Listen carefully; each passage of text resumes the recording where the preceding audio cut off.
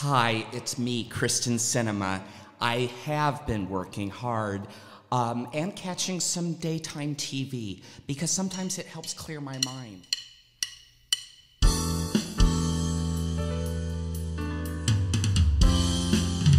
And I particularly catch the daytime psychics and the daytime doctors.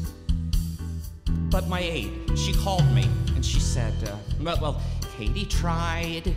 I was halfway crucified. I was on the other side of no tomorrow.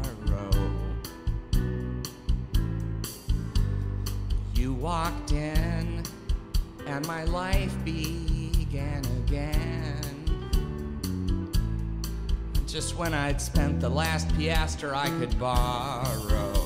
Campaign funds are running a little low, in fact, but uh, all night long we would sing that stupid song. And every single word we sang I knew was true. Now, are you with me, Dr. Oz? Are you really just a shadow of a meaning with no cause? Crazy? Are you high? Or just an ordinary guy?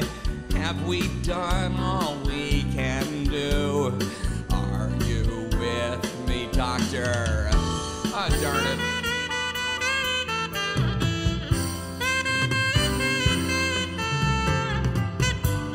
Uh, hey, thanks, Kyrsten Sinema. It's me, Joe Manchin.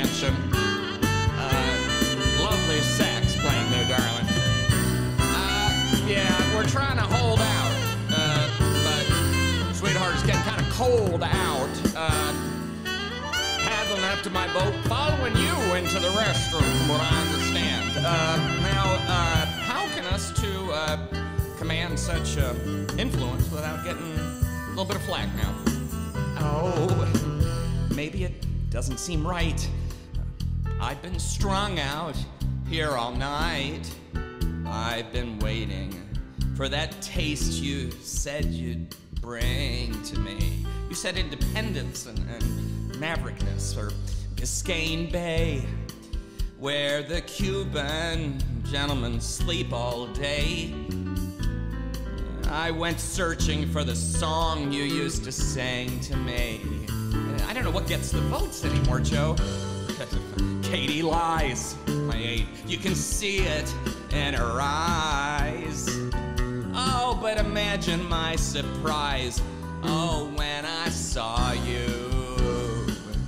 Oh, are you with me, Dr. Drew? Are you really just a shadow of the man that I once knew? Oh, she's lovely and she's sly, and you're an ordinary guy. Have we finally got to you? Are you with me, Doctor? Can you feel me, Doctor? Are you with me, Doctor? Can you see me, Doctor? Now, now, now, uh, have you tried Dr. Phil? You see, because Dr. Phil